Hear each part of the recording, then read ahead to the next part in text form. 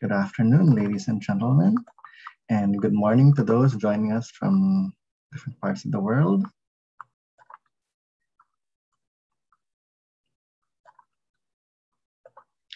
My name is Gerald Joe C. And I'm the current Associate Dean for Research for, for the College of Engineering, UP Diliman, and the project leader for the Engineering Research and Development for Technology for UP Diliman. The ERDT Consortium is a, is a program sponsored by the Department of Science and Technology to the Science and Education Institute. First of all, welcome to the ninth ERDT Congress. For this year, our theme is Engineering the Future Through Digital Transformation. Technology enables society to continue to operate despite limitations in physical inter interactions and restrictions in movement and travel. In the face of a global pandemic, we learned to rely more on emerging technologies and innovations to get the job done and keep the world running. A large scale technology driven transformation is inevitably the way of the future. Therefore, investing in the four domains of digital transformation is vital to keep up with the demands of our rapidly changing landscape. Ninth, the ninth ERDT Congress shall provide an in-depth analysis on digital transformation and how engineering research and development will contribute to its full realization.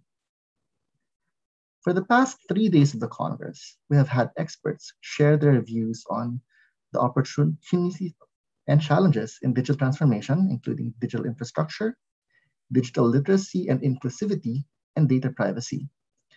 We have also had speakers talking about sectoral transformation in the government, business, and academia.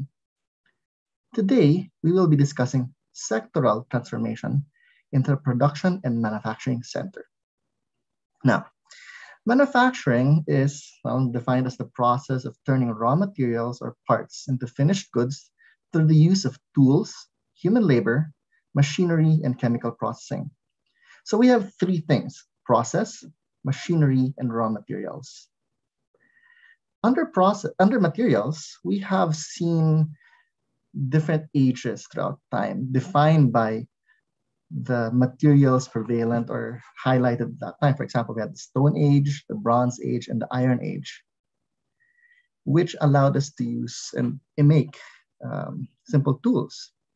However, uh, later on, we had what we call the Steel Age, also actually characterized also with the Glass Age, which, which was what we call the Industrial Age, where it allowed us to build skyscrapers. A few decades later, we had what we call the Plastic Age, where, well, everybody's aware that we have seen plastics used for the simplest packaging, but we have to admit that plastics have brought us all the way to well, allowing space flight. But today, uh, we will be talking about not just going beyond plastics, and it'll be handled by Dr. Arnold Lubguban, who will be talking about advancements in polymer technologies in the Philippines. Dr. Arnold Lubguban currently holds an appointment as a professor and researcher at the Mindanao State University Iligan Institute of Technology in, uh, as part of the Department of Chemical Engineering and Technology. Prior to joining MSU IIT, Dr. Lubguban had a short-term Balik scientist stint with the Department of Science and Technology. He gave lectures and training on bio-based polymer processing to higher education institutes and local industry, which included ADMU, MSU IIT, Xavier University, and ChemRes Technologies. His research focuses on the use of low-value agricultural and industrial waste byproducts, such as rice straw and crude glycerol, and converting them to value-added industrial polymer products with commercial potential. He will be our third speaker. The next part of the presentation includes where we'll be discussing about machinery.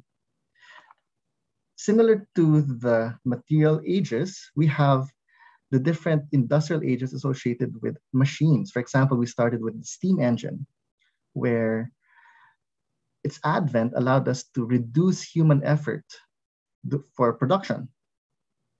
And then later on, we've the advent of the conveyor belt, which allowed us to produce the production line and uh, the, the high production factories. Later on in the third age, we see what we call the advent of electronics, where it allowed us to do automated production.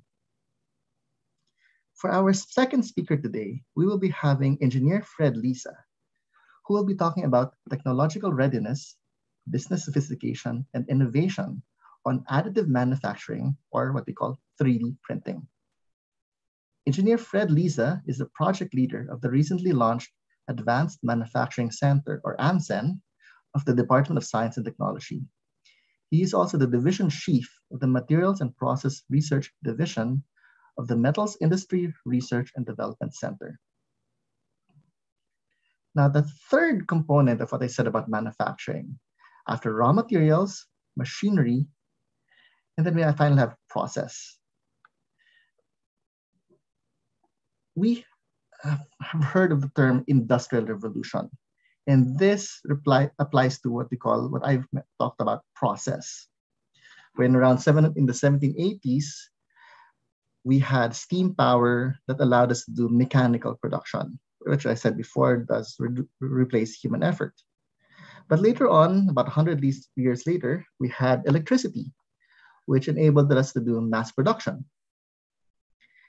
And about another 100 years later, we had what we call the third industrial revolution, where we had the digital revolution, where it brought us electronics and information technology, which brought about automated production. But today we're going to be talking about what we call the fourth industrial revolution, okay, where it is the advent of the cyber physical systems we might have heard of the term Industry 4.0, where it relies on the technologies and the infrastructure of the third industrial revolution.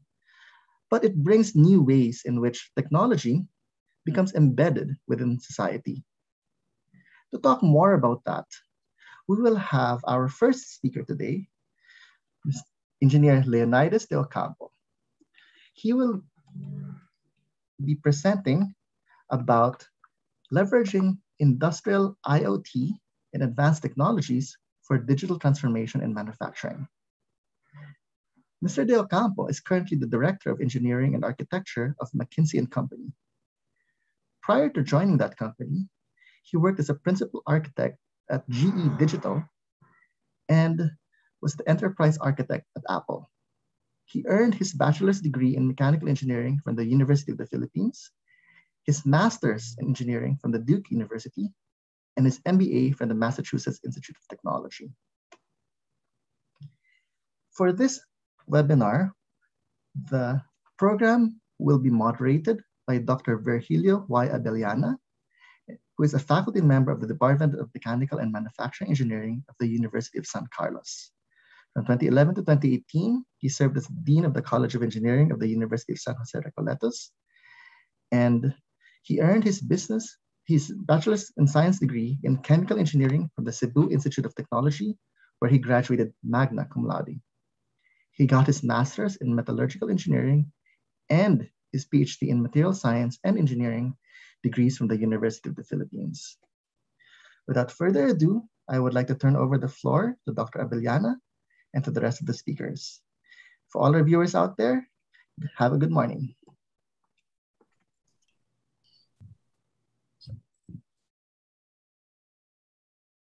Okay, good afternoon. Good afternoon to all the attendees, to our guest speakers. So we are here on the session of uh, production and manufacturing sector. So this is a very more, more interesting area of research because we are, uh, the academy is trying to link with the industries.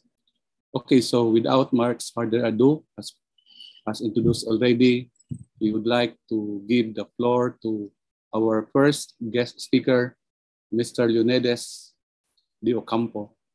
He will be talking about the leveraging industrial IoT and advanced technologies for digital transformation in manufacturing.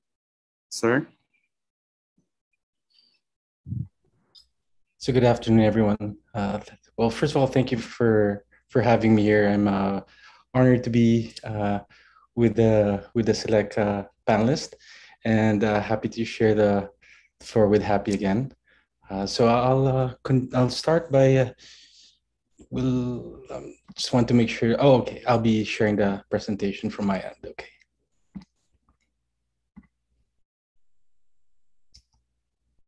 Okay. So um, to begin with, um, I'm, I'm as Happy discussed. I'm uh, I'm going to discuss a topic that's uh, that that represents the digital age, and unfortunately, in the digital age, uh, we we need to be a little bit more precise about our our concepts. So um, I'll, I'll divide the section into uh, five parts. The first part is really uh, going into the topic statement and defining the, the concepts very precisely. Um, you know, the, the, the thing that I realized in the, the, the years that I've worked uh, in a consulting industry is that you're only as effective as how precise you are with a problem statement so you can be as precise as the solution. So I think the topic statement is something that uh, that uh, I, would want to um, uh, spend time uh, going through, um, and then I'd want to go through the kind of the paradigm shift that's happening that allows this this this sort of productivity, and that is is is the heart of this the root for the transformation in in in a lot of organizations. Um, challenges and opportunity in the, these paradigm shifts that's causing uh, the both actually the challenges and the opportunities uh, in, in, in the manufacturing industry. And then the resulting uh, technology landscapes that this occurs and how it impacts a lot of the organizations. Um, and then these are two parts. One is what we call the vertical integration. And then the second is what we call uh, horizontal integration. We'll go over that in, in the topics. And then the last is, uh, you know, the, the, the key the key item that we're going to get out of, of, of this talk is kind of what is the foundation um, of, of the solution uh, for, for solving the, the opportunities uh, and the ability to create this vertical and horizontal integration as we've seen. Uh, and we, we define it through the foundation uh, technology stack. So this is uh, the, the technology stack that I'll be going through you know, it's something that uh, I first saw when I was with Apple.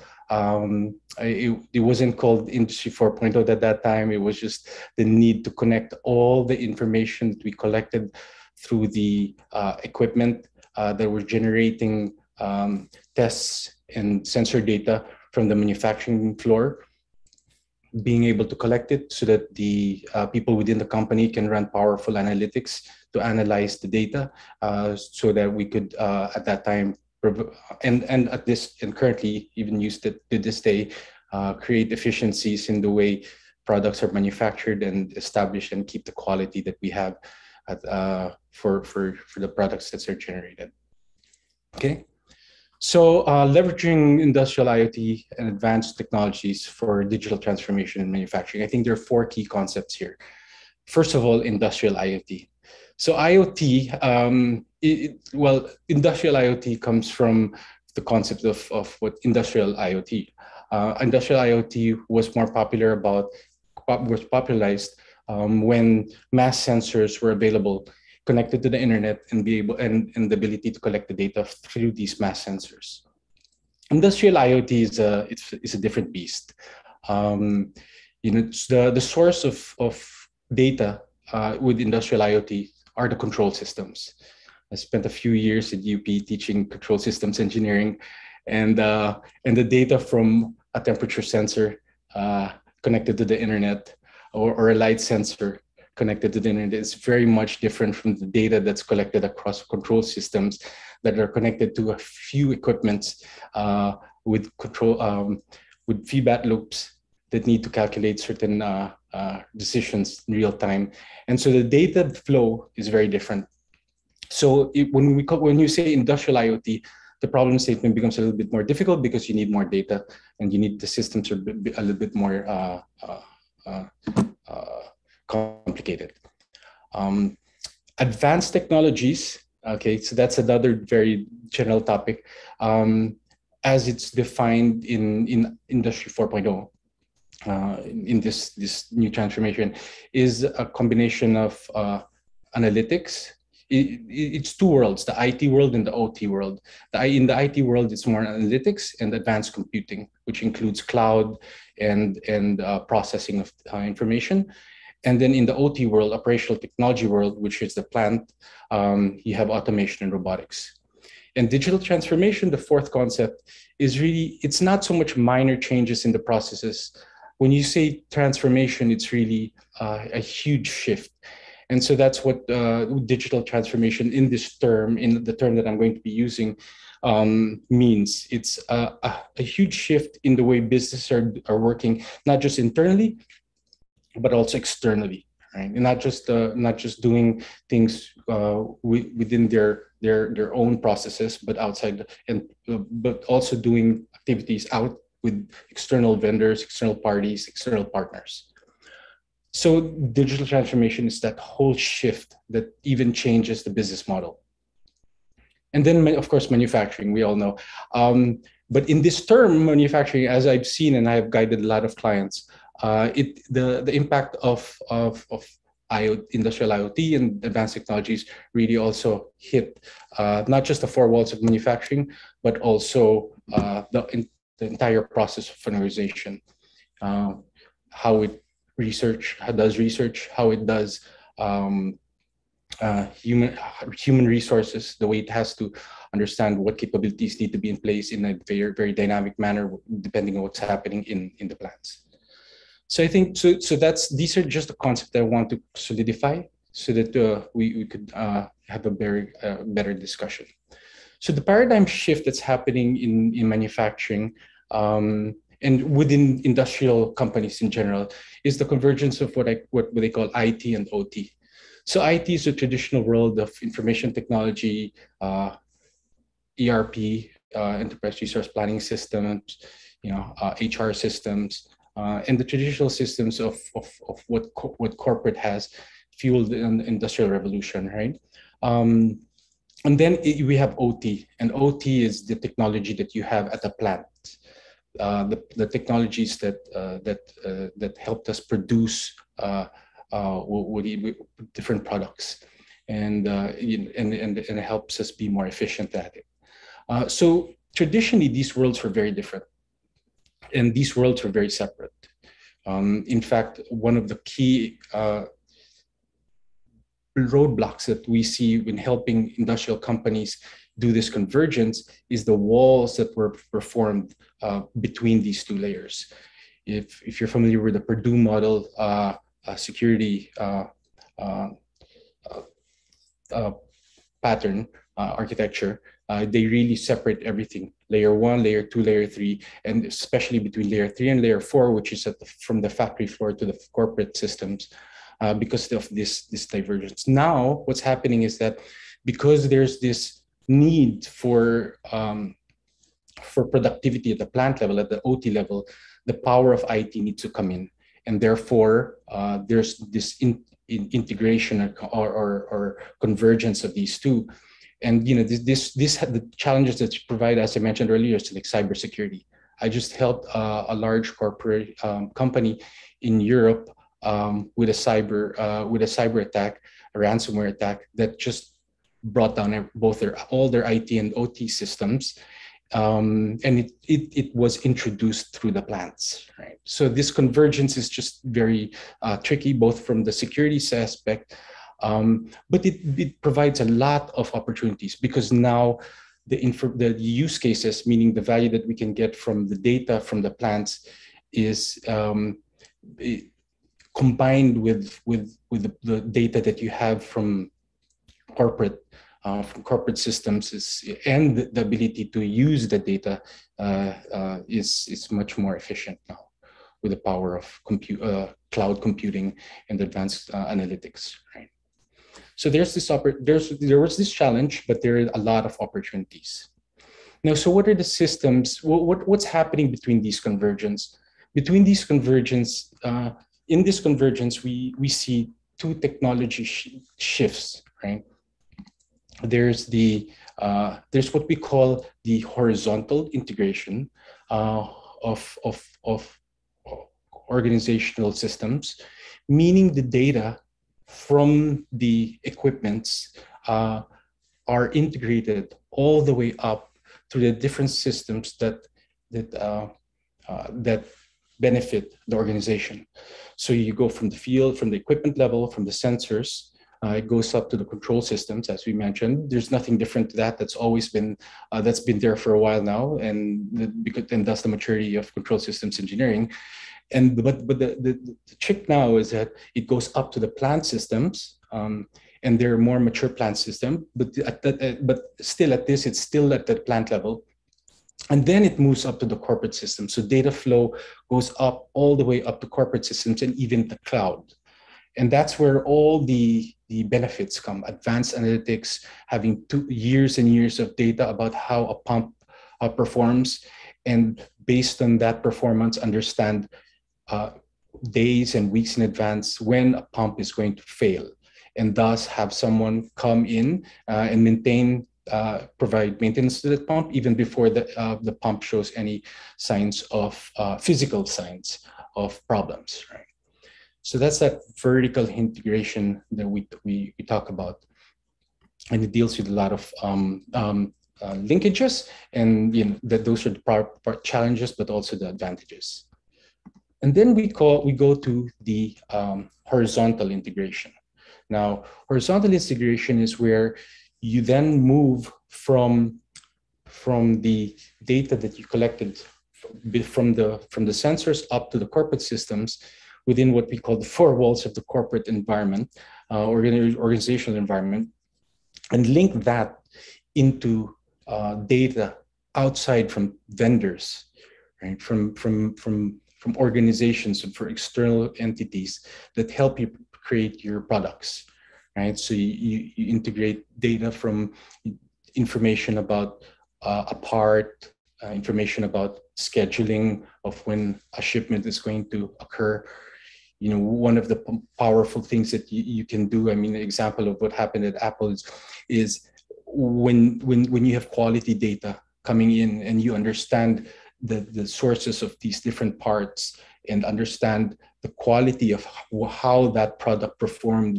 and you form a relation between how which parts came from which vendor to understand the, certain level of qualities that that each vendor intrinsically has and and the, in, within their products.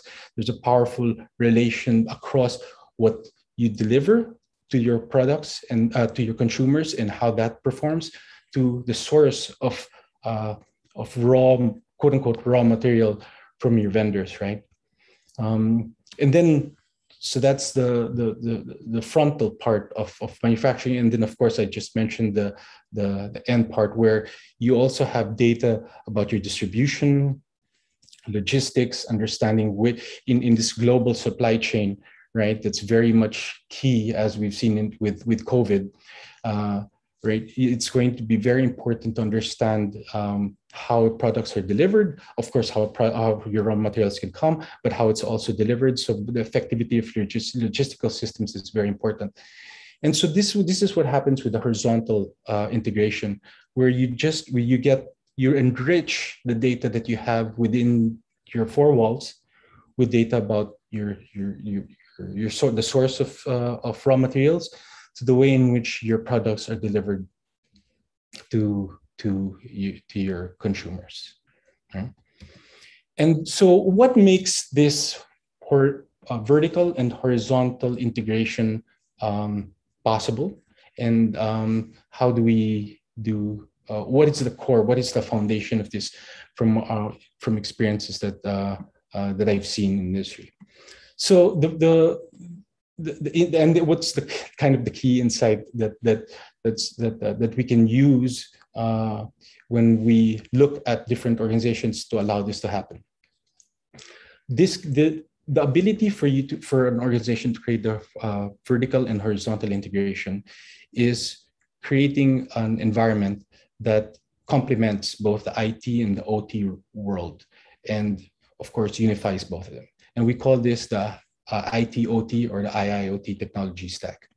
And um, this is a tiering of the, this is created through tiers of, uh, of, of architected through tiers of technical capabilities, which starts off with the, the, the, the setup of what we call a collection mechanism at the plant level.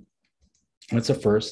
The second um, aspect of the technology stack is the connectivity uh, between this the collection environment and an external central environment, which often is the cloud, uh, and links that to the three other components, which is the data component tier, the analytic tier, and the application tier. Um, and and so the, the in, within these tiers you have um, uh, different different uh, capabilities. The collection tier is the aggregation of data across all the control systems.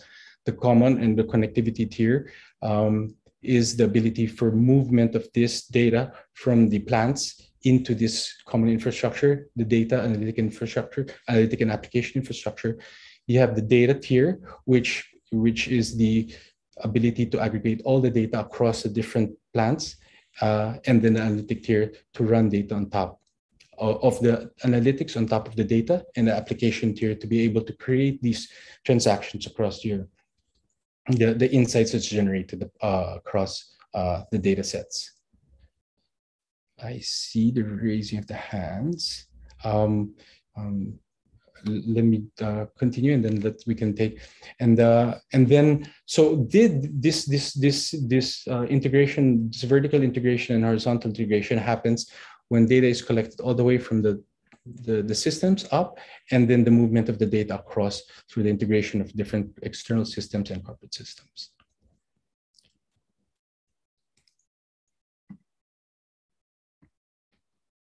So, um, so the value that this, this creates is the ability to run powerful analytics on top of your data sets and the ability to unify data across the different systems and then the different um, so um, so this is this is this is basically the the crust of the the this uh, this this foundation layer. The ability to collect data across all the control systems, across all the different sources, whether it be corporate systems uh, or external systems, integrated in through a data layer, which is that data fabric that connects uh, the operational data with corporate data and external data, run, store it in the different form, native uh, uh, storage mechanisms, uh, run analytics on top of it, machine learning algorithms to mine the data, and then an application here to create visibility. So, so in, in these five layers, um, it creates what we call a platform that allows organizations to, as I mentioned, create powerful analytics across the data that they have and to be able to create powerful applications. That applications meaning ability for uh, end users to be able to access the information and the insights readily, uh, and and uh, and not only not only uh, you know operators or people for corporate, but also data scientists to run powerful um, to develop powerful models. So um, I can I, I, pause now. I know that we, we covered a lot of uh, topics, and I'll um, I'll leave the detailed discussions uh, later on um, with with the, with the, different questions. Anything? Um, um I think uh, I can shift over to the moderator, or or how how are the questions uh, uh Yeah, I think the question and answer is the last part yes, okay. entire okay. program. So the two speakers are still to present. And yeah, okay. Thank you, sir. Okay, so uh, for our next speaker, as already introduced by Dr. Denoga, then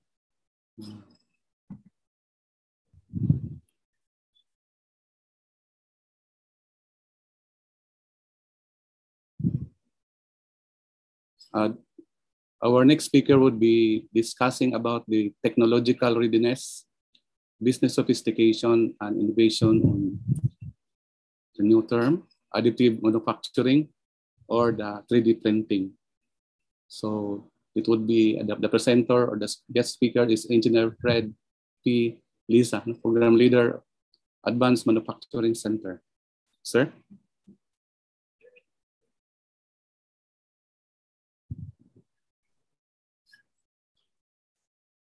Okay, good afternoon. Please uh, allow me to share my presentation.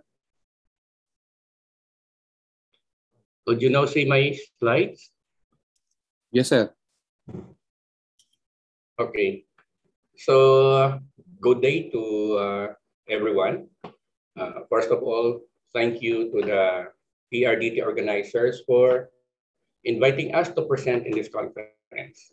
I am Fred Liza, the Chief of the Materials and Process Research Division of the DOST MIRDC and the Program Leader of the Philippines Advanced Manufacturing Center.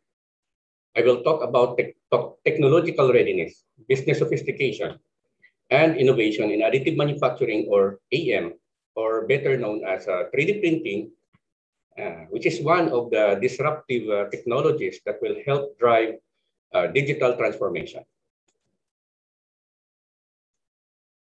This will be the outline of my presentation. I will begin with a short introduction about the Philippines ranking in the Global Competitiveness Index, as well as uh, how additive manufacturing adapts into the trend of uh, digital transformation. I will then present on how we can increase technological readiness through NAMCEN's capabilities and initiatives, enhance business sophistication through a Philippine uh, uh, ecosystem, and boost innovation uh, through additive manufacturing R&D activities. Currently, the Philippines uh, is ranked uh, 64th in the Global Competitive Index out of 141 countries. The criteria includes technological readiness, business sophistication, and the innovation capability of the Philippines. In 2013, McKinsey Global Institute named additive manufacturing or 3D printing as one of the 12 disruptive technologies that will transform the business and the global economy, which will improve the global competitive index by 2025. Originally, additive manufacturing was mainly used for rapid prototyping, but the recent advances in technology suggests that it has the potential to revolutionize the manufacturing process in enhancing the supply chain capabilities. The main advantage of additive manufacturing is in the speed with which manufacturing is done, as it reduces lead time from product design to release and allows for better customization and cost-effective small batch production. Digital transformation is about adopting disruptive technologies to increase productivity and value chain creation, uh, value creation resulting in enhanced products, improved uh, organizational structures, or the automation of processes. Digital transformation has three main areas, customer experience, operational processes, and business models. Customer experience, where a successful digitalization improves on how the company collects, understands, utilizes, and responds to customer data, thereby improving services and overall satisfaction. Operational processes where digital transformation gives man managers the tools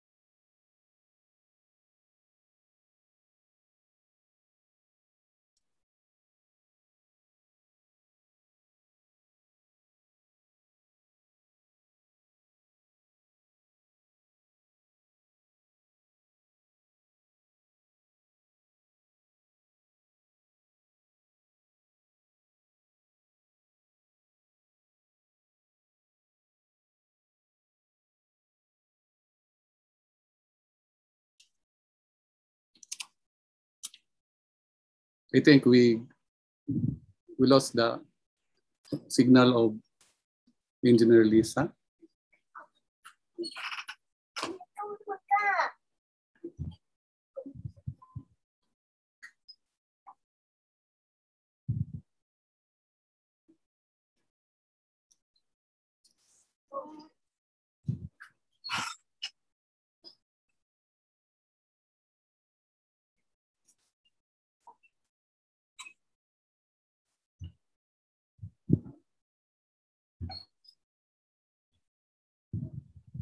Uh, Secretariat, shall we wait for him or? Ah, okay, I think Engineer Liza is, hello sir, can you hear us? Yeah? Kindly connect back, share your screen. Uh, your audio is not also, cannot be heard here. Okay, can you hear Okay. me now? Yeah. Okay, thank you. So where did you realize that uh, I don't have the audio? In what slide? So maybe you could go back a little. Yeah, you, you can go back, uh, Okay. yeah, go back a little bit.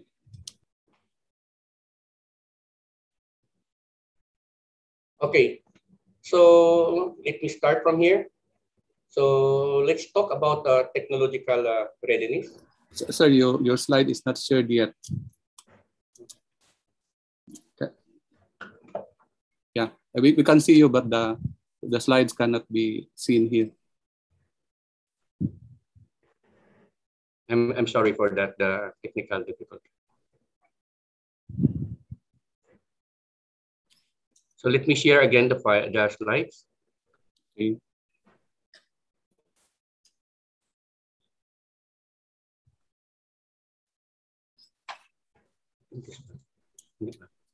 Okay.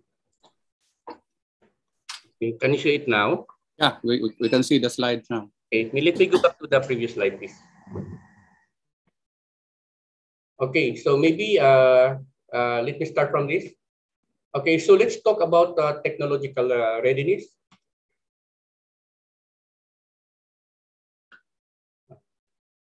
Excuse me. Okay, technological readiness is composed of uh, seven indicators, uh, three of which are opinion survey questions on uh, availability of latest technologies, uh, firm level technology uh, absorption, and uh, FDI and technology transfer.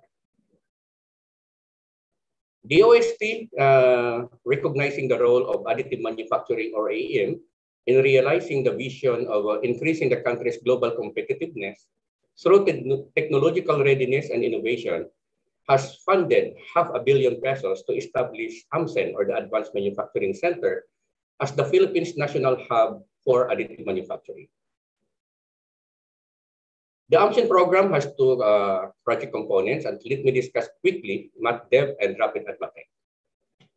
The first component is the development of materials for AM being performed in the MatDev laboratory, uh, located at the DOST ITDI, with uh, its uh, lab launched in December 2020. In the second component project, the Rapid AdmaTech, advanced 3D printing technologies were acquired to speed up product development uh, via rapid prototyping, hence accelerating innovation. The facility was launched recently, last June 2021. AMCEN has seven components or services focusing on R&D, training, and policy standard development. AMCEN is equipped with some of the latest additive manufacturing technologies, such as material extrusion, which are able to print high-performance plastics and composites, powder bed fusion that can print functional metal parts like uh, titanium, aluminum, stainless steel, etc., and VAT photopolymerization that is able to print technical ceramics. We also have 3D scanning technology as well as material preparation and processing equipment such as uh, filament, uh, filament makers, powder uh, preparation, and uh, material testing instruments, as well as software solutions to ensure optimal uh, product properties uh, prior to manufacture. Aside from the DOST acquired equipment, we have technology partners that located their latest 3D printing solutions at AMSEN, which we can use for R&D, training, and services. We have some technologies from, uh, as shown on your screen, from Puzzlebox, from Omnifab, from Nord International, from Atarashi International, from Carl Zeiss, from uh, Hexagon, uh, MS software, and uh, Materialise for additional software for optimizing parts. With all this, we are, keeping AMCEN abreast with the latest technologies, thereby improving technological readiness. Bringing together all of these technologies will lead to a process workflow that can be done in a digital environment where designs and subsequent uh, design iterations can be made without the limits and burdens of fabricating the actual parts until the desired properties of the final product are optimized and validated using uh, various simulation softwares. With the state-of-the-art technology uh, available at AMCEN, it is also important to enhance business sophistication by ensuring these technologies are accessible to AM practitioners in the academic, industry, and government sectors. Uh, business sophistication concerns two elements that are intricately linked. The quality of a country's overall business networks and the quality of individual firms' operations and strategies. AMCEN created the Connect 3D Minds or Connected Minds ecosystem to build a community of professionals, practitioners, and innovation centers to enable the thriving of research and development and induce the adoption of additive manufacturing for advanced prototyping, product innovation, and development. Through this scheme, different clusters were formed and given access to AMCEN facilities, training programs, technical services, R&D collaborations, and a lot more care members of the ecosystem, such as students and researchers from the academy are given opportunities to conduct their thesis research, identify thesis topics pertaining to AM, avail additional research grants, and even explore career opportunities by being acquainted with other ecosystem members, such as industries and government. These uh, five clusters are being linked together through the following means. The AMCEN Create 3D Minds Academy or Creative Minds Academy shall implement training programs to establish an experts pool in additive manufacturing. Under this scheme, the members of the uh, ecosystem undergo competency development, certification, and training from international universities and technology providers. We also have AMCEN Integrated Online System or IOS, a digital platform that improves ease of doing business and make our services accessible anywhere in the country where you can just upload your design, pay in person or online, and choose between pickup or having it delivered at your convenience. These schemes directly address the critical elements of a nation's business sophistication. Now that we have the latest technologies and networks of very capable personnel, we can now bring them together to boost innovations through R&D activities that address the various needs of the country. Innovation is particularly important for economists as they approach the frontiers of knowledge and the possibility of generating more value by merely integrating and adapting both exogenous and endogenous technologies. In particular, it means sufficient investment in R&D, the presence of high-quality scientific research that can generate basic knowledge needed to build the new technologies. In this area, AMCEN is boosting the innovation capability through R&D activities such as uh, this example with the Philippine Army, AMCEN collaborated on a research project to design an IED, an IED disruptor. With the Philippine Nuclear Research Institute, we developed a filter column for wastewater, selectively collecting uh, chromium ions from wastewater. From, the, from a startup company, FAME Inc., we collaborated to develop a, a waterproof and robust transponder plastic enclosure which will be installed in small, in small scale uh, vessels. We are also working on various projects that showcase our competence in advanced manufacturing, at the same time making a strong impact to our society. And uh, here are some of, some of them uh, shown on your screen, and we have more of that still uh, on the way. So how is AMCEN planning to move forward in improving the country's global competitiveness? AMCEN intends to acquire additional technologies to further increase technological readiness. For phase two, we are working on more than half a billion of uh, additional technologies to be put in place in AMCEN. To further enhance our business sophistication, AMCEN will develop the AMCEN ARMS or the Advanced Remote Manufacturing Service, which is a database of specialization per region so we can expedite additive manufacturing jobs and share resources in a more efficient manner that is being facilitate, facilitated through the IOS digital platform. Lastly, as part of the Philippine AM roadmap, these four key areas will be the focus in terms of R&D, which intends to boost the innovation capability. Uh, these key areas are composed of uh, manufacturing, uh, which focuses on uh, support of the self-reliance defense, defense posture program, support for the Philippine space programs, low to me, uh, medium volume production, and uh, simulation and verification of 3D printed parts and components, for the medical, we, we will focus on the development of patient-specific implants, development of minimally invasive surgical instruments, and development of anatomical models for pre-surgery planning and uh, surgical training. For construction, we will be developing our own local 3D concrete printer. And for consumer goods, in which a variety of membranes will be developed uh, for uh, various applications.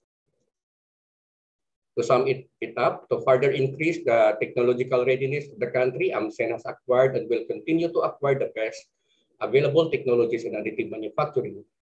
To enhance business sophistication and collaboration, AMCEN will be leveraging the Connected Minds or Connected Minds ecosystem, the Creative Minds Academy, the, the AMCEN Integrated Online Service, and the AMCEN ARMS. To boost the innovation capability, AMCEN is pursuing more R&D projects focusing on the four key areas, namely manufacturing, medical, construction, and consumer goods. AMCEN uh, will continue to grow, and as we continue to grow, we invite friends and colleagues to connect and uh, collaborate with us in embracing digital transformation and uh, advancing the Philippines towards uh, Industry 4.0. Thank you very much. Okay, thank you very much, Engineer Liza. No? Very nice presentation. Personally, I, I find it a big leap towards uh, advanced manufacturing already. So anyway, we can discuss more of those during the Q&A.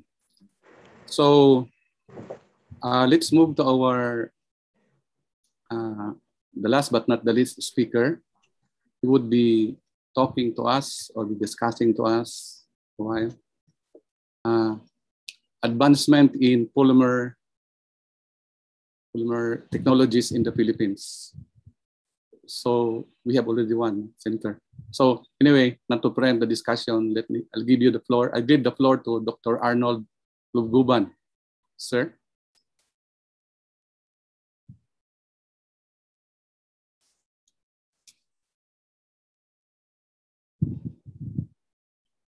Uh, all questions will be entertained after the last speaker. Okay, so please bear with us.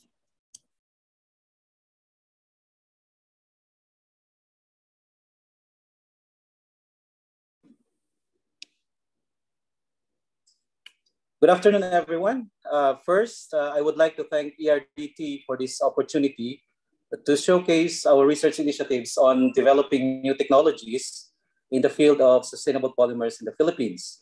So the NICER Center for Sustainable Polymers located at MSU IIT has now grown in capacity and capability in search of alternatives to existing polymer-based products in the market. So I would also like to thank the DOST's Science for Change and NICER programs, which made this center possible. And our earlier collaboration with USAID Stride, which initiated the research on the conversion of rice straw into functional polyols and polyurethanes. So presently, uh, with the generous funds provided by these agencies, we are confident that the center will become effective vehicle for change and advancements in polymer-based industries in the Philippines. So why sustainable polymers? Presently, the global manufacturing industries are heavily dependent on petroleum for their energy and raw material needs. So burn, burning or processing oil exacerbates global warming and poses serious threats to our national security. So for these reasons, we need to kick uh, oil addiction by investing in sustainable reform to reduce oil demand while uh, taking steps to curb global, global warming. So the aim of uh, sustainable polymers R&D is to focus on to research efforts to generate or produce renewable and ultimately uh, sustainable polymers. So there should also be a balance between low cost production or process or product performance comparable to or better than the existing petroleum-based counterpart. So for example, it may be seen as a cycle of polymerization or depolymerization to re- reutilize used polymers. Another example to your right is an example uh, is, the, use of bio-based raw materials to synthesize polymer products. So as a result of these uh, initiatives, we hope to develop and strengthen our country's green economy, which by uh, definition is to improve human well-being and social equity while uh, significantly reducing environmental risks and ecological scarcities. So green economy is uh, a collective result of these three components shown. Uh, low and zero carbon technology is the term given to technologies that emit low levels of CO2 emissions or no net uh, carbon dioxide emissions at all. So while resource efficiency means using limited resources in a suitable manner, sustainable manner while min minimizing impacts of the environment. And lastly, your social inclusivity there is uh, also considers improving the terms on which individuals and groups take part in a society.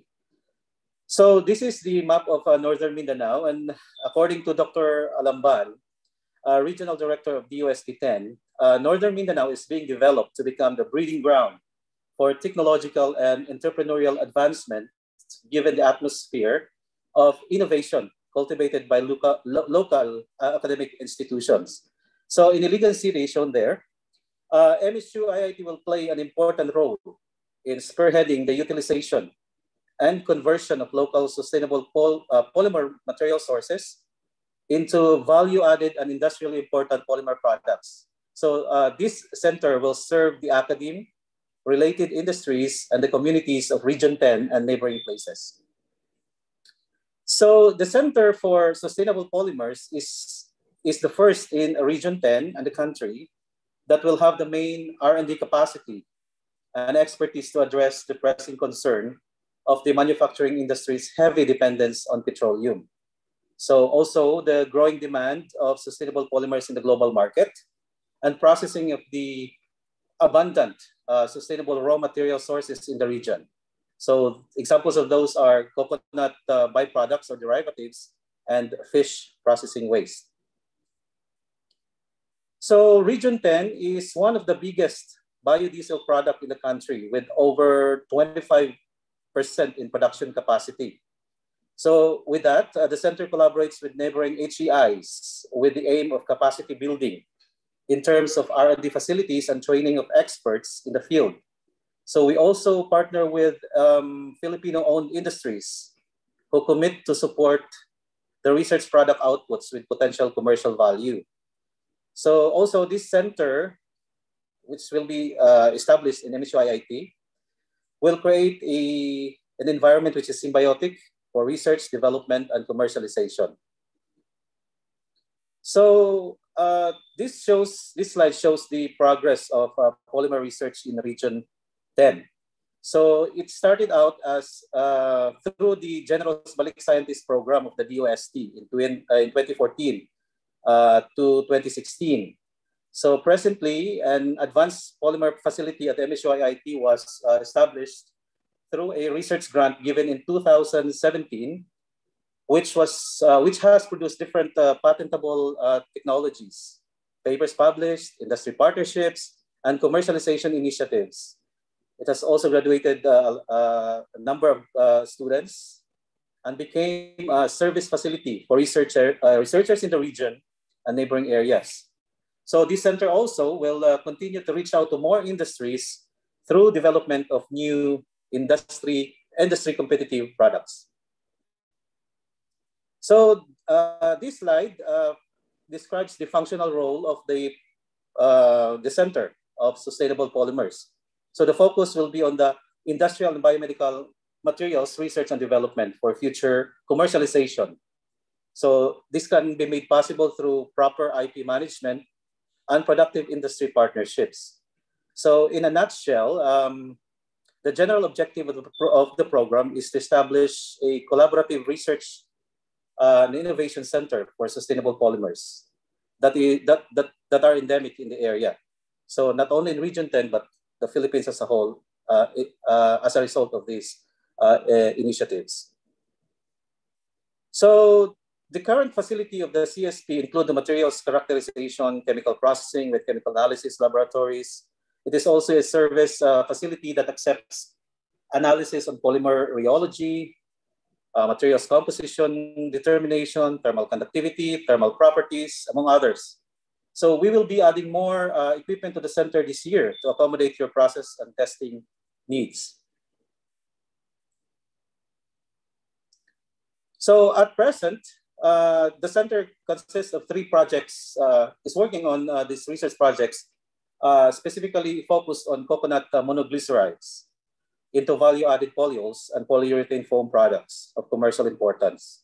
So another project is focused on the development of fish processing wastes into usable biomedical and wound patch and nutraceuticals. So lastly, uh, an innovative approach of using crude glycerol from biodiesel plants and processing it to convert to a high value polyurethane modified concrete for industrial uh, flooring system.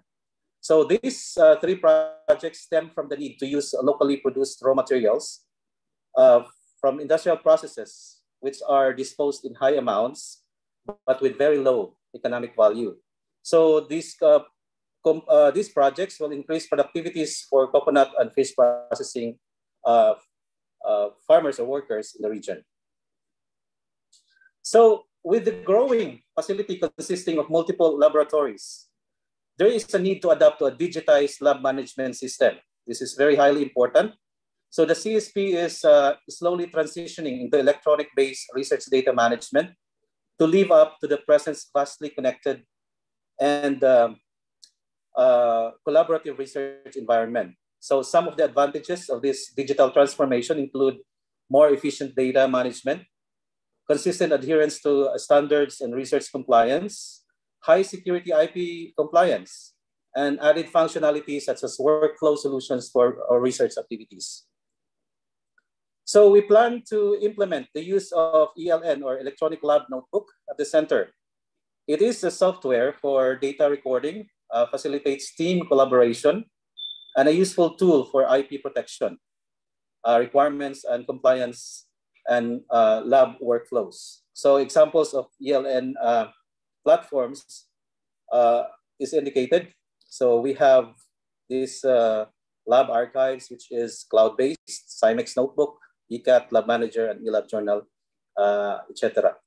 So integrating a software application may be daunting and challenging, but uh, we look forward to a more productive research operation with this uh, integration.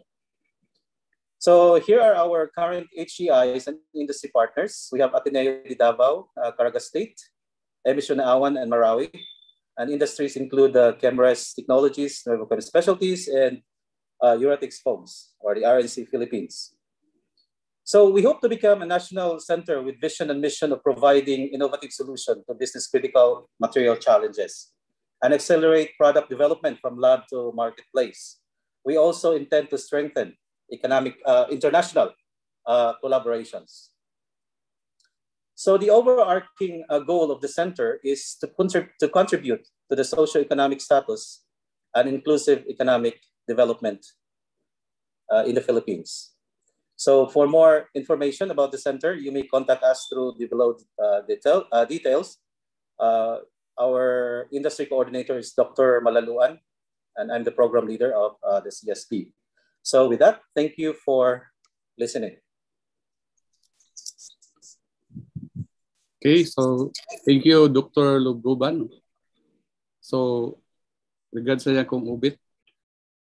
Actually, I work in IIT from 1982 to 2006. No? So, uh, I worked with the metallurgical, ceramics, and chemical engineering department.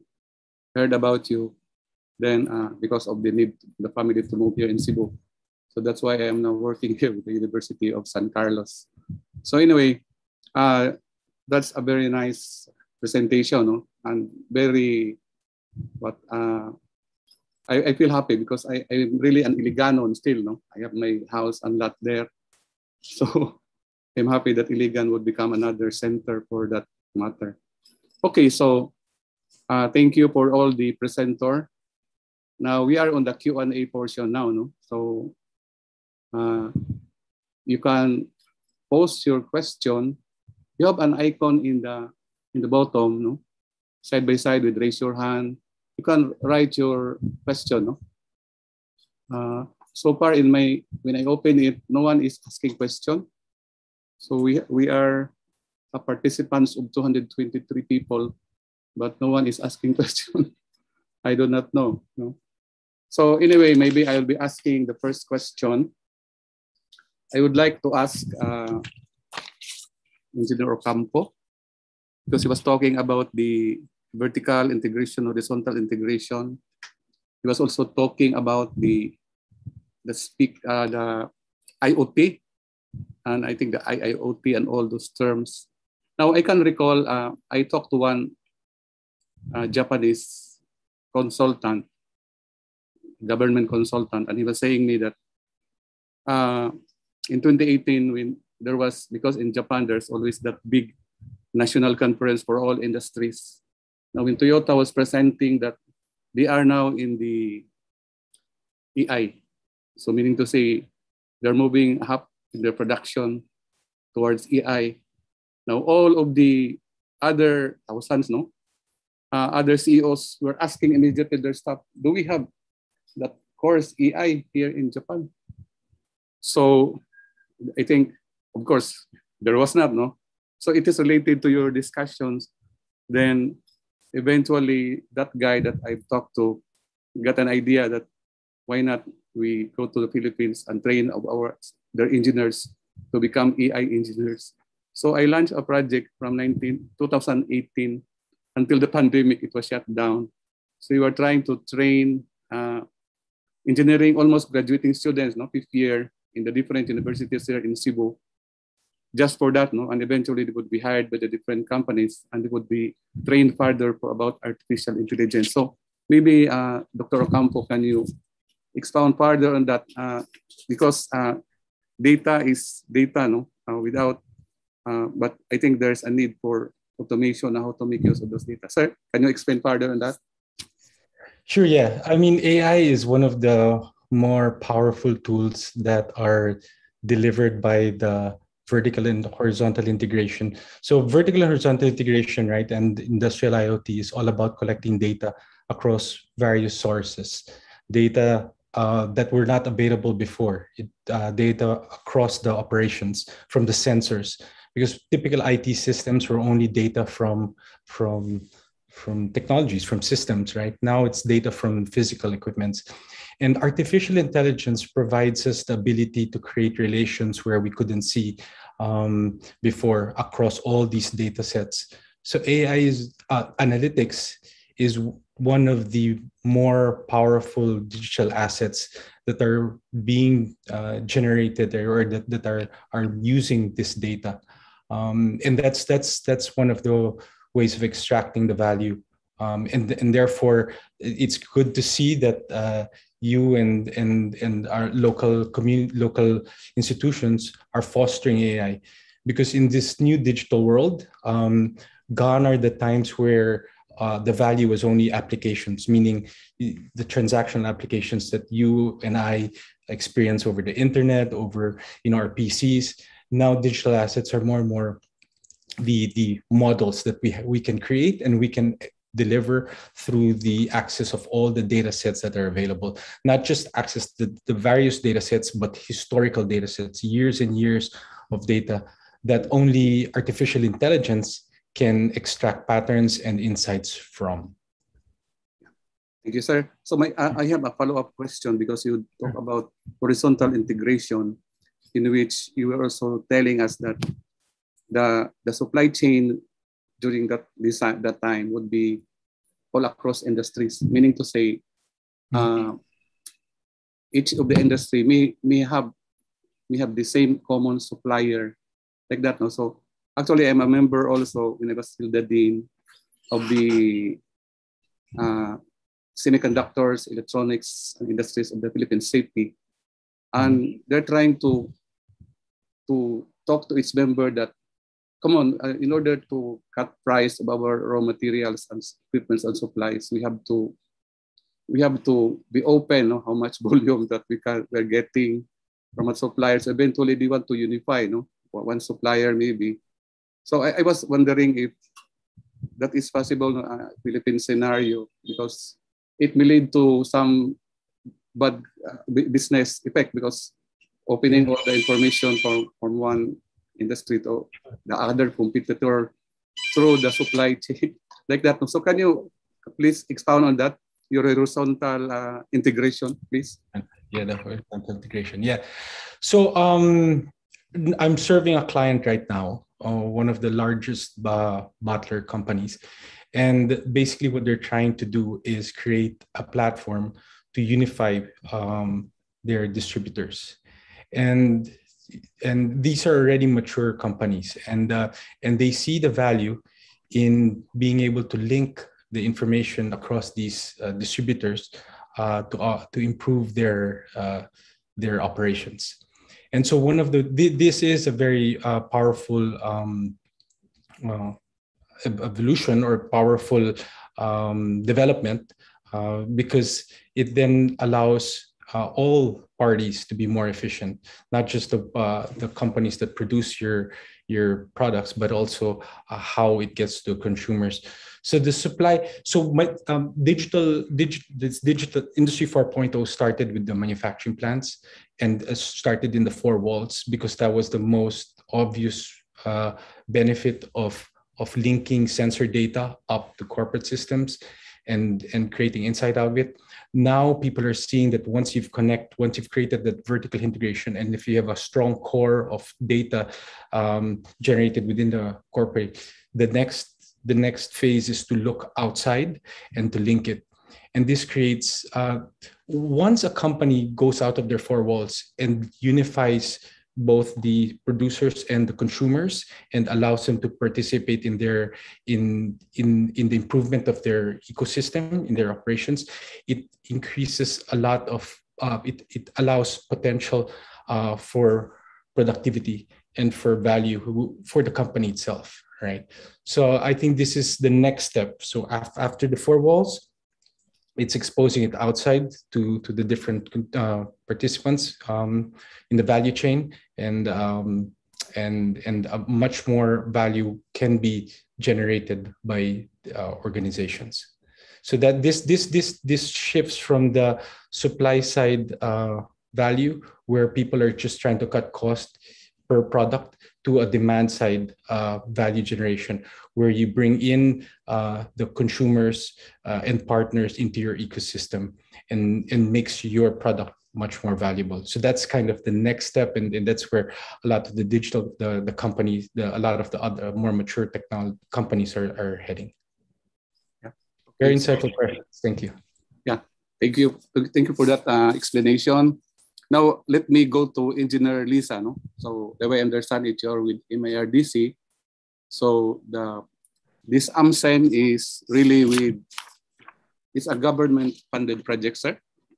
Yes. Okay. Uh, okay. Or yeah. the Advanced Manufacturing Center of DOST. Okay. Uh, the, I think, uh, one of the government-led centers, no? Mm -hmm. uh, so which means that uh, it is fully funded. Okay. But, uh, I think uh, one third of the solutions no, or the technologies that we have here right now are located for free, as I presented earlier, by our technology partners. Oh, okay. Mm -hmm. So actually, sir, in just a, a, brief background, I am an old engineer already. I started working way back 1980s.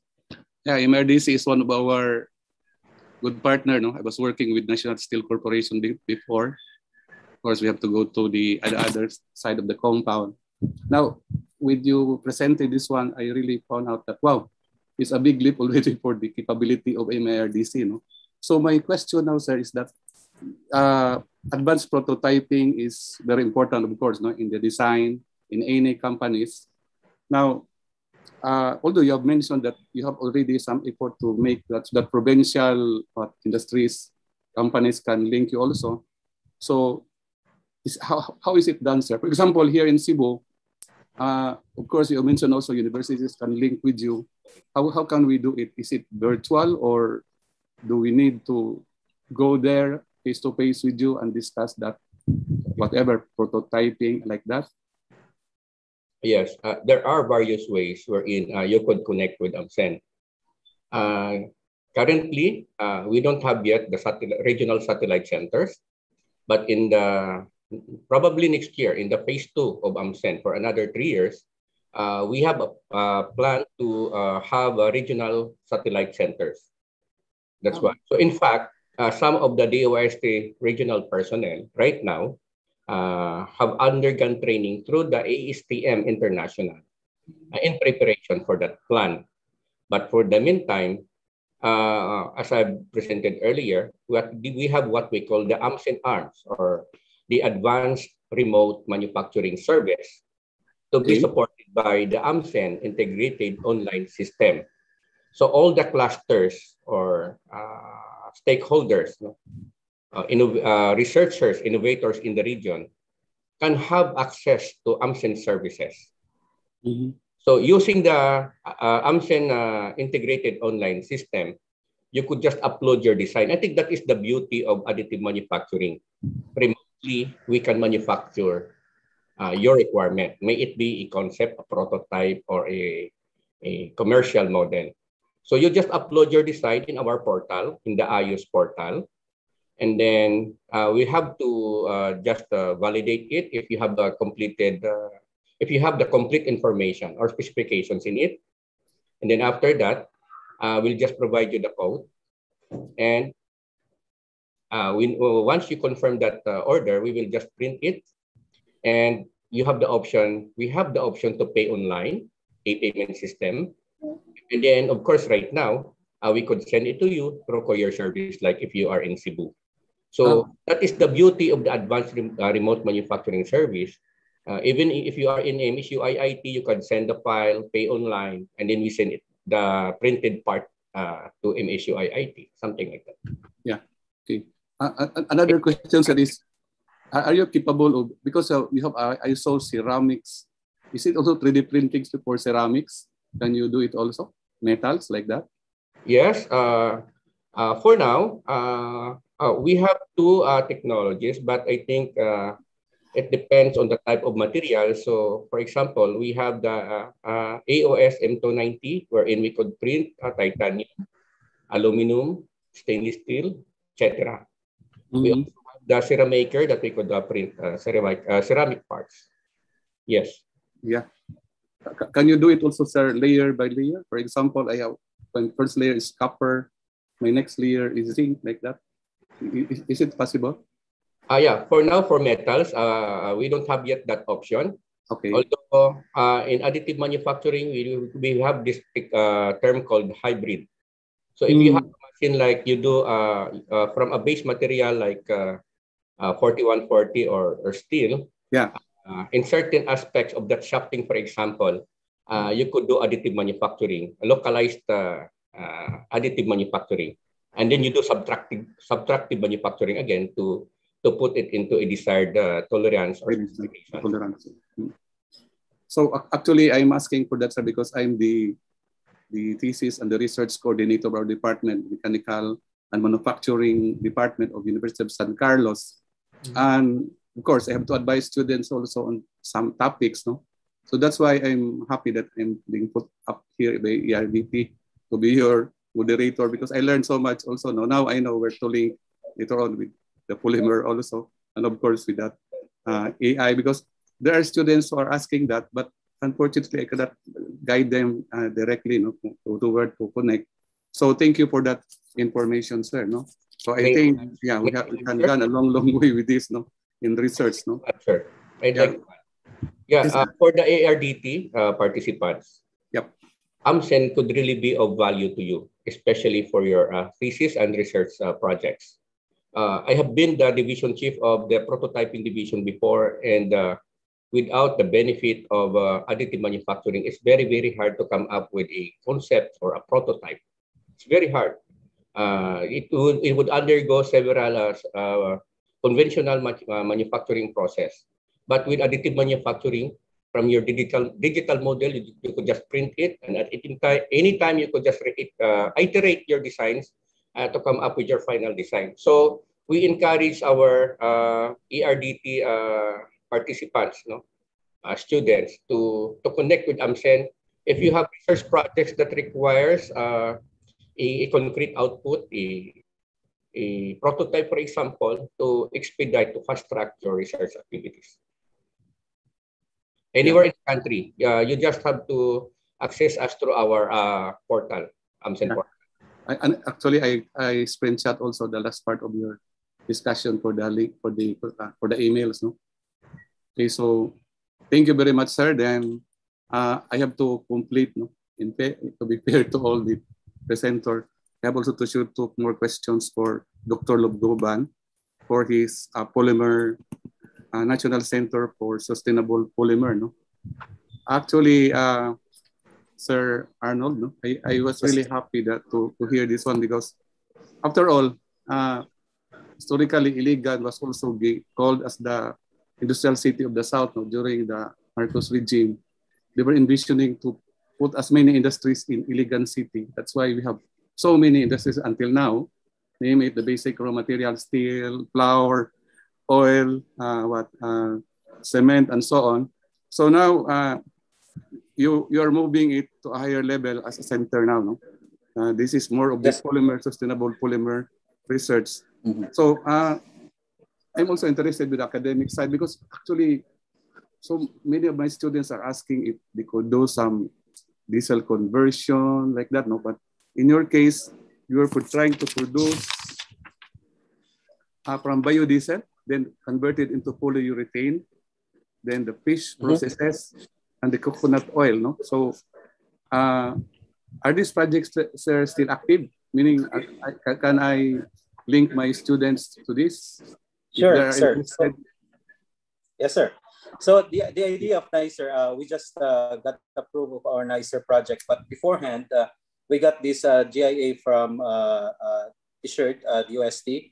Uh, that's a, a, generous sum to uh, capacity for capacity building. So we purchased uh, equipment for polymer characterization, and then we had uh, three projects then uh, with that, uh, we started this, uh, jump started this facility on sustainable polymers. So this is still ongoing. a new project, the NICER Center for Sustainable Polymers, will officially start in in a month. So that will be in October, and that there are three component projects, and we can add more projects to that. So one of those projects are the conversion of uh, uh, biodiesel or, or no, no, uh, crude glycerol, which is a derivative of coconut oil processing to uh, materials like polyol and polyurethanes.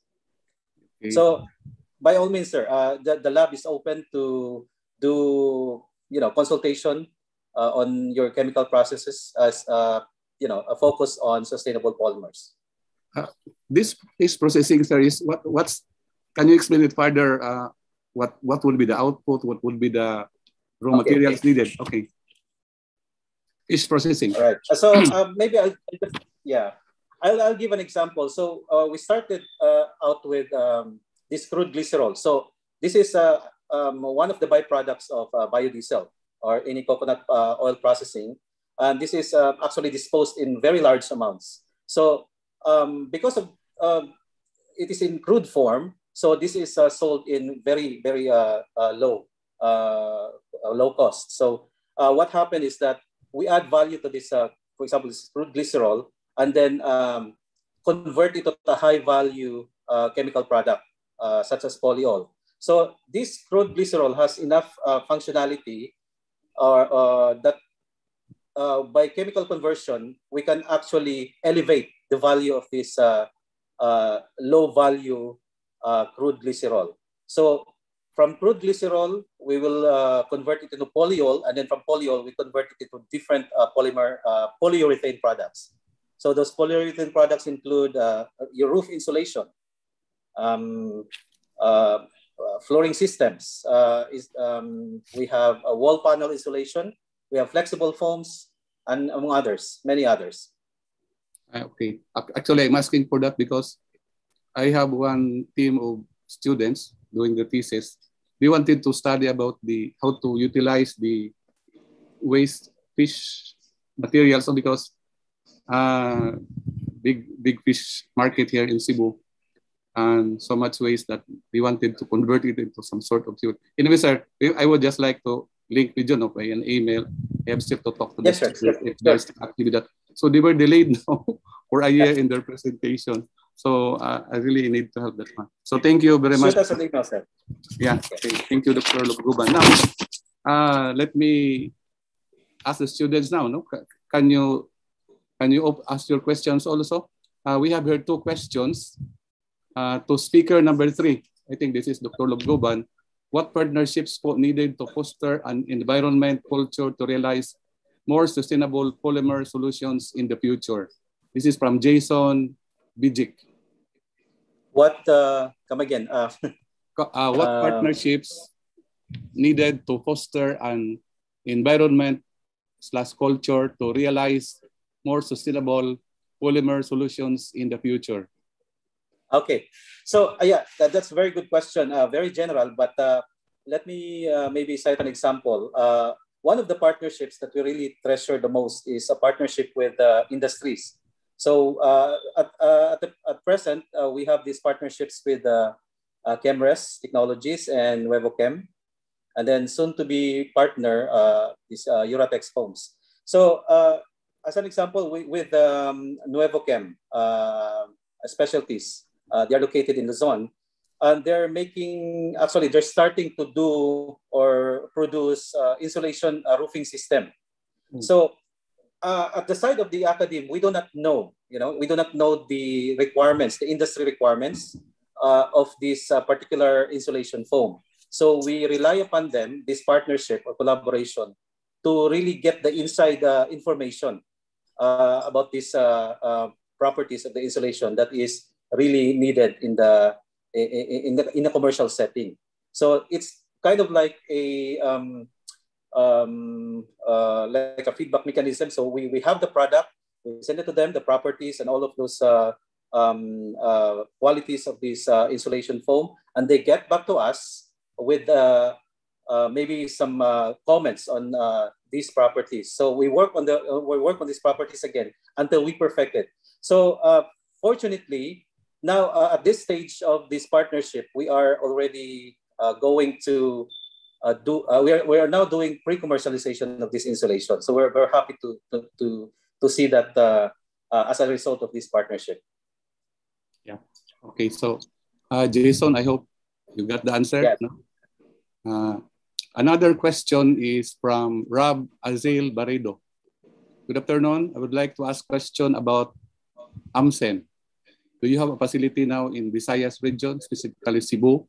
And do you allow students to do research in your facility or allow them to use some of your equipments? Okay.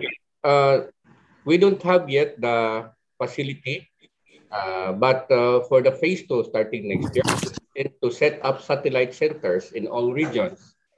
But I'd like to mention that right now we have around 32 Fab Labs all, all over the country and we have in Region 7, I think seven uh, Fab Labs that uh, you can connect with if you have some 3D printing requirements. Uh, but uh, if there are limitations and if it is beyond their capability, uh, you can go directly to AMCEN through our AMCEN portal. As I mentioned earlier, we have the advanced remote manufacturing service and the AMCEN integrated online service uh, system portal. So uh, that's how right now we are creating that ecosystem together with the Fab. So meantime, uh, you could connect directly with the Fab Labs. And if it is beyond their capability, your requirements is beyond their capability, you can connect directly with AMCEN anywhere in the country. Uh, this is my question. It's not from the student, but uh, do you have also some means of marketing your capabilities, sir, aside from attending this forum like this among the scholars? Because uh, I really find it, you know, maybe, many companies are interested in that, but we do not know yet, no, like that. So how how do MRDC doing it now in advertising those new capabilities that we have? Okay. Uh, by the way, I forgot to answer the previous question. If the students can avail of our services or if can, they can do research here at AMCEN, yes. Oh, okay. Uh, for researchers, automatically we give 20% discount on all our services. If you make us, if you would like to co-create with us and make us as your R&D partner, then there are special arrangements wherein we could provide counterpart support no, to mm. lessen your uh, financial exposure to your project. So there are various schemes uh, by which you could avail of the AMCEN services. On the next question about, uh, I forgot. Uh, From the student? No, no, the, your question, sir. Uh, yeah, my, my question is the, the, the how do you how do, how do you advertise now? No, because the, I, I saw so much capability. I, I I work also many years in the industries. I know that many if the engineers can realize that wow, we just do this prototyping with AMCEN, no, like that. Mm-hmm. So that, my question now is how do you how, how how you're going to advertise it now to public? No? Yes, uh, through the multimedia platform. Uh, we have our website, our Facebook page, we do some webinars. Uh, we had been invited to a lot of uh, speaking engagement and presentations, even in uh, US also, and uh, with ASTM. And uh, there are a lot of platforms that uh, we are involved in right now. but definitely, there'll be more of the like uh, ikapihan, some sort of, and a lot of DOST activities that we were invited to present. Yeah, okay, so Thank you, sir. Okay, uh, I have here a question uh, posted by maybe. The question is for Sir Dondi from YouTube participant. Sir, how can we speed up the adaptation of IoT in our sectors? In, our, in your opinion, what IoT area should we prioritize? Sir Dondi.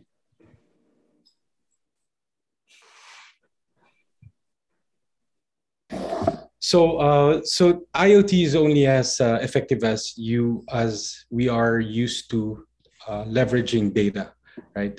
So, um, and in leveraging data, of course, we we we need, as you mentioned, as you asked earlier, a lot of data scientists, a lot of application developers.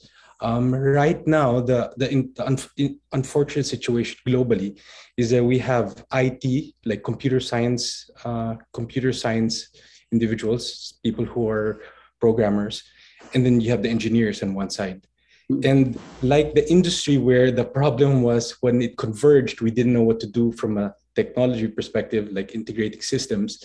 I think the, the ability to really uh, leverage industrial IoT is again a human convergence now. It's the convergence of the, the traditional computer science graduates of computer science talents and the engineering talents because right now when we when when i when i go to clients and when we're re, even even the most advanced um, um, institutions right and they want to make use of um, the data that they have um, they have to get a computer science graduate or a data science person and then they ha- they get an engineer and then they make them work together and then they it takes it takes time for them to really create the the value because you you, you can't you can't create the insight unless you know the, the the physics or the the engineering behind it. So i think the best the best the best way is that if we can from the start from the education from from from the start of college or from the start of the education of individuals this convergence is also already innate with with the with the talent that uh, the, the education that people are getting. So when they gra- when we graduate when their students graduate they already have this combination. Um, so i think uh, the best way we can really foster it is through an integrated education system, more integrated, it's already integrated, but a more integrated education system that will create the, in, the data scientists who are also the engineers and then I think that's the, the best way we can. Yeah, I, I agree with you though because uh, we, we cannot easily pinpoint a industrial sector to, to prioritize, but if we start it from the bottom you know, among the graduates, engineers, and and the sciences, computer science, science students, graduates, I think uh, we can elevate more no, to, to that level. No? Actually, in the in the engineering uh, courses here in the Philippines, we have this industrial engineering, no? Uh, although some countries might mislead this one as really specialists of um, machines like that, but it's more of like this, no? So the industrial engineering that we have is looking at this one, vertical integration, horizontal integration, because I taught some subjects a bit. Then, yeah, what, what is lacking is the data, no? The, how to gather the data, of course, how to make use of the data. And in the case of that, the program that I was working with the Japanese, the AI, artificial intelligence, with Monozukuri. I don't know if you heard that one. It's more of the art of uh, doing products, the art of craftsmanship. So it was really uh, for me. That's why I supported that one because it's really be helping our students also no, to level up. So unfortunately, because of the pandemic, the Japanese can no longer come here. So that's why it's all at stop. No? So when you present this one, Mr. Ocampo, I find it really interesting. No? I know that uh, I saw in one of my presentation the uh, industries in Germany now is really in that integration process, no? The horizontal and the vertical.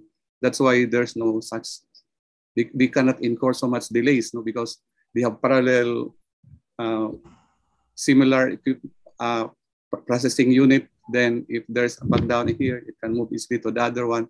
Like that, no? So well organized, no? In the point of view of industrial engineering, it's a well organized way of uh, doing manufacturing. So that's why I, I know this type of idea would flourish here in the Philippines. Yeah, but maybe we should start at the academy. No?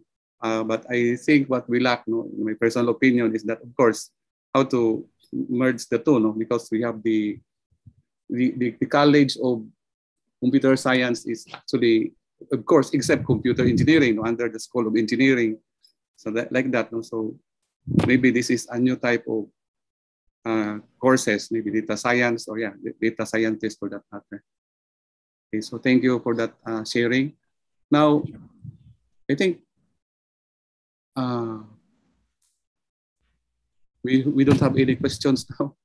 So let me call on ERDT Secretariat, Ms. Jane. Can you hear me?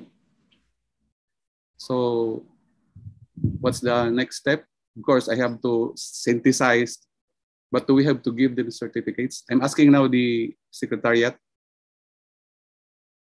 Uh, any of you? Joy, Ali.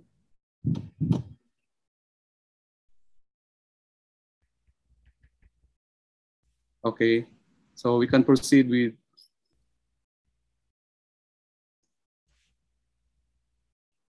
we can proceed with the synthesis. Okay, so uh, in summary, no, for all the presentation, uh, of course, some of it I will be posing as a question. So the first speaker, the guest speaker, uh, really opened our mind. No? Uh, Mr. Leonidas de Ocampo is really trying to portray to us that the more advanced way of manufacturing is the use of data. Of course, the highway, which is the internet. So that's why we have the Internet of Things. And it would lead us to this vertical integration and horizontal integration. When vertical, we mean that all the data from the, from the field can easily be extracted by the top management, no? And vice versa, I don't know with vice versa, but I think it's upward, moving upward on data. Then, of course, what we are after here is more of uh, time, no? To, to save time, to cut costs, because integration, uh, supply chains, uh, supply chain across the industries would really reduce also costs, theoretically, no, in, in concept. So uh, he also discussed about the artificial intelligences would process the data, no? uh, after manufacturing, more data are gathered, and eventually that would be processed, and that would the AI uh, the, the, it would give back feedback no to the managers that this is the because we, so much data we, we can no longer interpret, but the the computer can easily do that one. No, so I think that was a very good presentation. No, for us students in research in master's degree and PhD, uh, this would open another venue, no? which are very good already for, for research also. Now, in the second presenter or guest speaker, Engineer Fred P. Liza of MIRDC, the, the additive manufacturing. Now, we heard so much about nanotechnology. I think this is already nano. Stand corrected, but I believe because the layer per layer uh, printing is really adding, of course, the particle is added there is in the nano scale already. So what was very impressive with this presentation is that MARDC, the traditional metals research development corporation found in Taguig, is already capable of doing it, no? So they have this so many array of printers and the rapid prototyping, which is the, a very long process before, as they are saying also in the creation of vaccine, it took 10 years, the traditional killing of dead vaccines and inject that one as a vaccine shot. But the, the, the, the latest one now, it would only take few months, no? So in the like manner in manufacturing, we want also that one, no?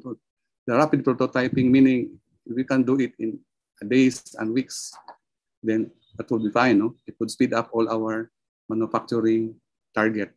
So uh, it is open also to the academe. So I'm happy with that. No? I have good news for my students already.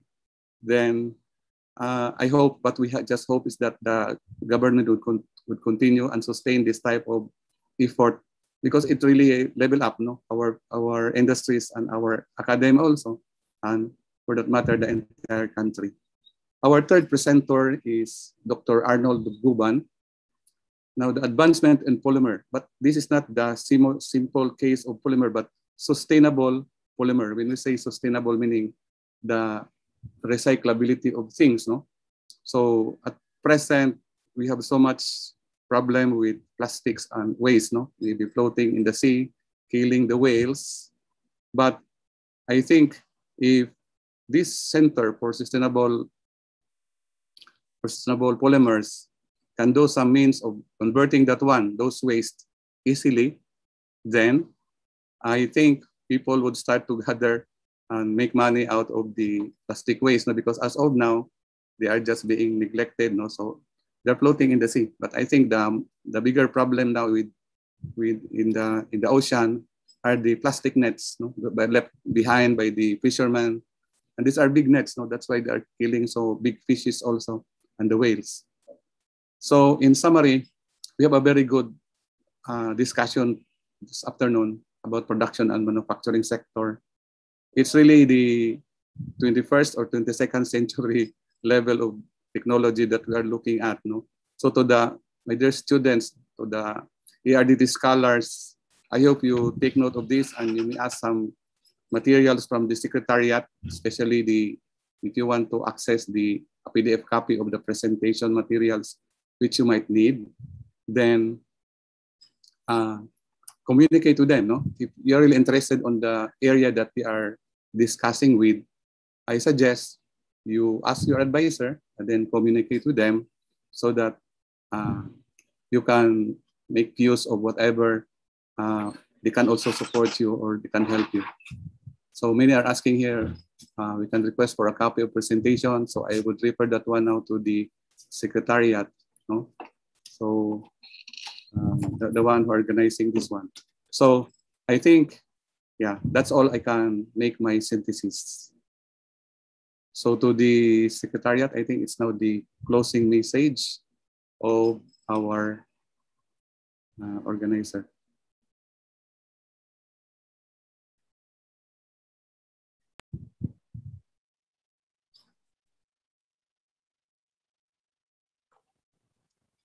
Thank you very much, Engineer De Ocampo, Dr. Lubguban, Engineer Liza, and Dr. Abellana. Being a mechanical engineer myself, and having recently been involved in a multi-sectoral commercial product using additive manufacturing and new materials, this webinar has led me to a better appreciation of integrating the different technologies that allow for better efficiency and lower cost. The new insights on additive manufacturing and new materials also makes me think of different ways for me to achieve my mechanical designs. I am sure that everyone else in this audience would now be entertaining similar thoughts on how their manufacturing and production can be improved. And this eye-opener is made possible through our three presenters and moderator. Again, thank you very much. As we bring this webinar and the ninth ERDT Congress to a close, we would also like to thank the Department of Science and Technology and the Science Education Institute, who has provided scholarships, research grants, and learning and collaborative opportunities like this through the Engineering, Research and Development for Technology program. Have a great day, everyone, and stay safe.